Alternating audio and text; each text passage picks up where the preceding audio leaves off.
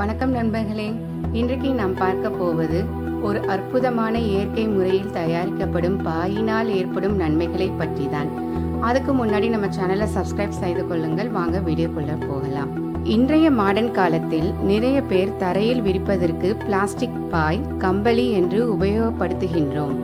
ஆனால் இயற்கை முறையில் இருக்கும் பாய்களை மறந்துவிட்டோம். பாயின் வகைகள் கோரைப்பாய் பிரம்பு பாய் ஈச்சம்பாய் மூங்கில் பாய் தாழம்பாய் பேரிச்சம்பாய் நாணல் கோரை பாய் என பல வகை உள்ளன. பொதுவாக பாய் தரையில் விரித்து நாம் உறங்குவதே ஒரு சிறந்த யோகாசனம். கர்ப்பிணி பெண்கள் பாயில் உறங்குவது சுகப்பிரசவத்திற்கு உதவிடும். பாயில் படுக்கையில் பெண்களுக்கு இடுப்பு எலும்பு விரிகிறது.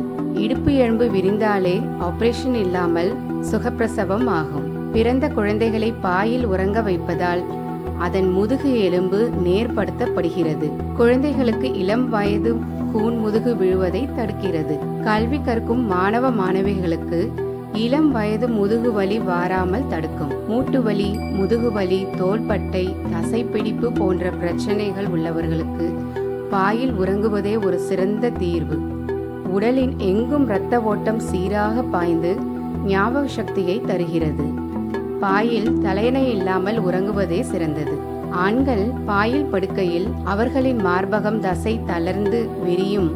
மேலும் பாய் உடல் சூட்டை உள்வாங்கக்கூடியது பெரியோர்கள் சீர்வரிசை கொடுக்கையில் பாய் இல்லாமல் ஒரு சீர்வரிசையே இருக்காது.